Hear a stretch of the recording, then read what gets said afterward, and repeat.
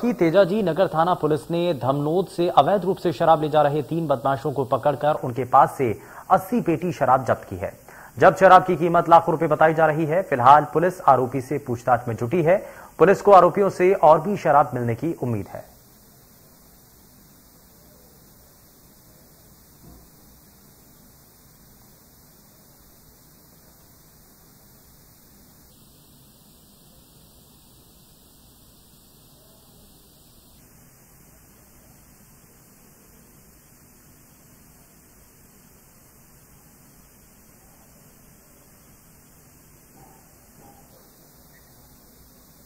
तो आरोपी से पूछताछ में पुलिस जुटी हुई है। पुलिस ने 80 पेटी शराब जब्त की है और पुलिस को इस दौरान कामयाबी मिली है। दरअसल नशा विरोधी अभियान जो है, वो लगातार समय समय पर चलाया जाता रहा है और ऐसे में पुलिस को इस दौरान सफलता मिली है।